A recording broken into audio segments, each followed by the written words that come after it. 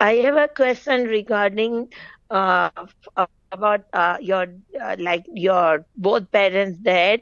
If you want to do a sacrifice on their behalf, uh, can in one god we can take both name or, or even uh, for the dead parents or one for one uh, dead parents sacrifice. Look, okay, thank you, Sister Zinat.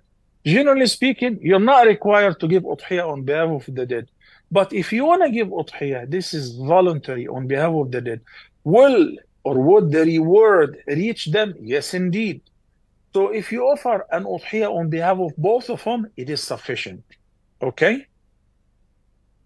And obviously, you will receive a similar reward.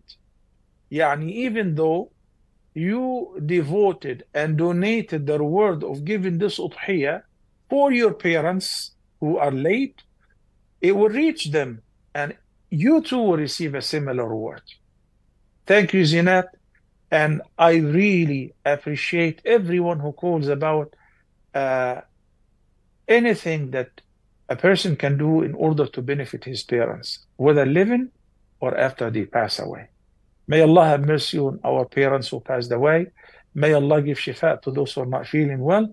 And may Allah enable to serve those who are still alive to the best of our ability. Ameen.